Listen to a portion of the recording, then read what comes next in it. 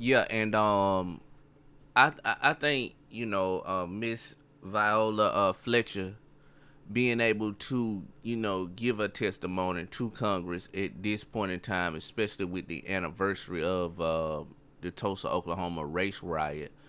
Um, she is the living embodiment of the debt that is owed. You know what I'm saying? It's like people know it's owed, but to get a real life actual occurrence, like somebody that was actually there, you know, they're actually giving you the the testimony of what happened.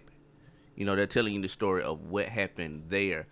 Um, it it proposes a bigger question as far as reparations is concerned because when you look at her life not only was the the riot a traumatic, horrendous, you know, experience for her as a young girl, um, she talks about her life past that point, and she talks about the the